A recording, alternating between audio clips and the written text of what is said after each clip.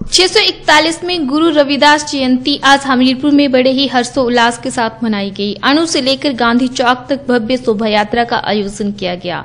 हमीरपुर से इस शोभा यात्रा में काफ़ी संख्या में लोगों ने शामिल होकर रविदास की जयंती मनाई। शोभा यात्रा का संचालन ओमकार भाटिया की अध्यक्षता में किया गया। इस यात्रा में काफ़ी संख्या में लोगों ने भाग लेकर रविदास के बताए हुए मार्ग पर चलने का संकल्प लिया। वहीं ओमकार भाटिया ने बताया कि आज हमीरपुर में बड़ी ही धूमधाम से रविदास जयंती मनाई गई, जिसमें काफ़ी संख्या में लोगों ने भाग लिया और बाज़ार में शोभा यात्रा निकाली गई। उन्होंने बताया कि आज लोगों को रविदास द्वारा बताए गए रास्तों पर चलने की ज़रूरत है।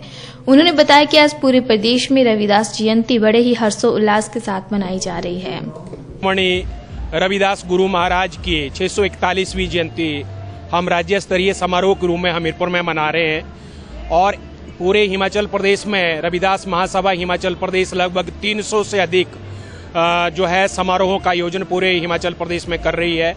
लाखों की संख्या में लोग आज रविदास महाराज को श्रद्धा सुमन अर्पित कर रहे हैं। जिनका सिद्धांत था, ऐसा चाहूँ राज में, जहाँ मिले सबको अन्न छोट बड़ सब सम बसे रविदास रहे प्रसन्न।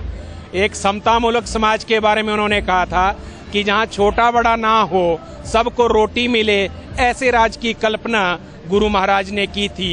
ये कल्पना बड़ी प्रासंगिक है और आज भी ये प्रासंगिकता काम आ रही है। इसके